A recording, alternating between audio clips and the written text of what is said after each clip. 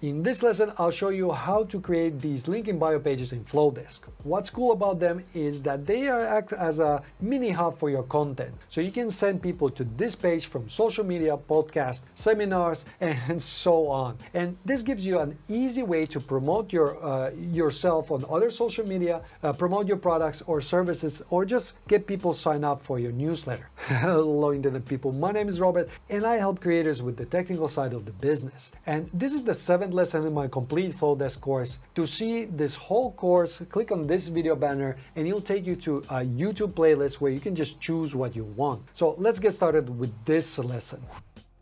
And lastly, let's take a look, quickly look at the link in bio.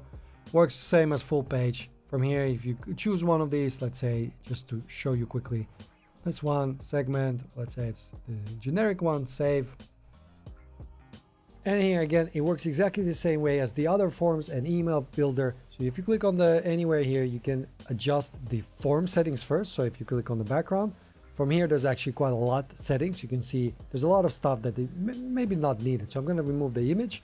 So you see it just disappears. Let's say this uh, logo also don't need it. From here, I like to keep this one. Yes, uh, for example, these fields, these are okay. But let's say I don't need this stuff here at the bottom like bio uh, social media icons, actually, I'm not going to put it because I'm going to send people from my social to this one. So I'm going to just disable it.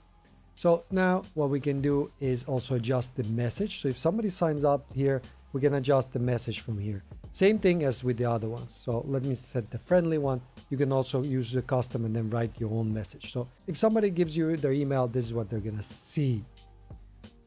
Right. And then the same way you can adjust here, for example, if you don't want to ask for the name, you could just delete this. Or if you really want it, then, then make it required. I'm going to just delete it. If you want to ask some other questions, you have a few options here. And then from here, you could also adjust these links. Uh, just have your services here or any other things you want to promote. So the email newsletter is the first thing, and then you have other things here. So, and you adjust it the same way as anything else. You just click on it, and then you can change the text.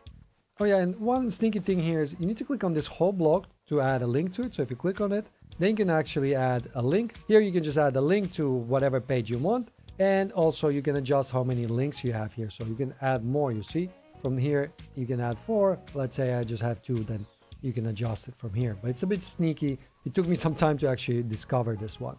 And you can also adjust the style and the block, the whole thing here, you can adjust it. And in case you need to test this, you can always also see how it looks on mobile. If you have a lot of if you have a lot of mobile traffic, then definitely check it out that it looks good. But with Flodesk, it usually does.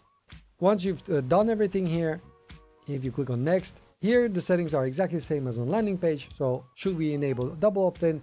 I'm gonna say no. Just when you're starting out, it's easier to build up your emails, email newsletter uh, if you don't have the double opt-in. So let's click on continue. If uh, when subscriber opts in, do you want to get notified? In my case, I don't want to, but you know, when starting out, you might want to have a few few first ones, but then it gets overwhelming.